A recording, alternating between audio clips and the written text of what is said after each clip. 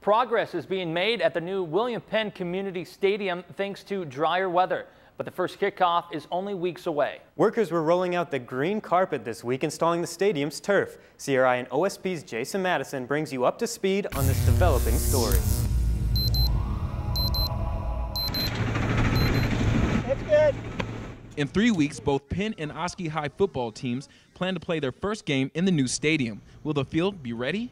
If you'd asked me two months ago if we were going to play out here, I was very doubtful, as were a lot of people in the community. Well, of, of course I had had some doubts, you know, there was a long way to go. Honestly, I didn't think that we'd be this far, and, and uh, a lot of that depended on the weather. The elements cooperated last month with only four days of rain in July compared to 16 in June, so contractors have been able to move quickly on getting the field ready. When you walk out here and you look and see how many people are out here working and how far it's come in the last six, six to eight weeks, it's just really unbelievable what's happened here.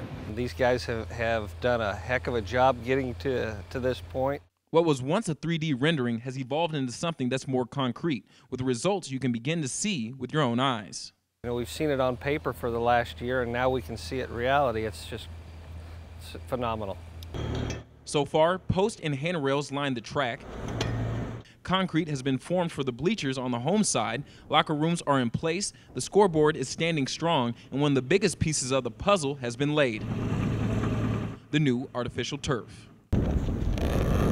This week alone, six workers have sliced and sewn the field together, as well as cutting the numbers and hash markings. The artificial grass is guaranteed for eight years, but has an estimated lifespan of 15 to 20 years with little cost and maintenance required. Another benefit of the new turf is how it brings Oskaloosa sports up to par with other local programs. A lot of the schools in our conference have gone to turf fields. Pella Pella Christian, Norwalk now has a turf field, Newton has a turf field, and it's going to give us on the same level playing field as the other schools that are playing on it. At this point, there are still parts of the project missing, like rubberized coating for the track, visitor-sized seating, and permanent bathrooms. But Musco Community Coordinator Mike Gipple says what you see now isn't what you're going to get.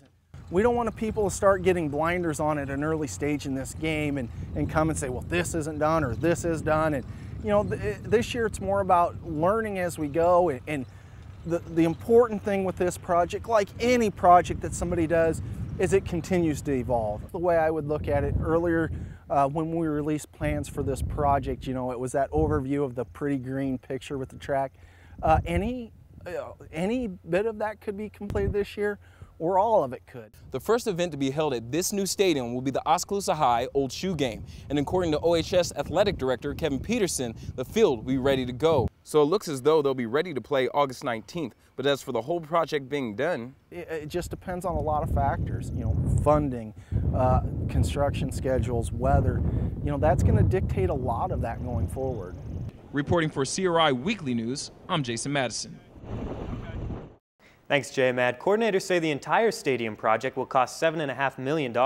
Kevin Peterson says the old community stadium will still be used by the middle school and stay open for public use.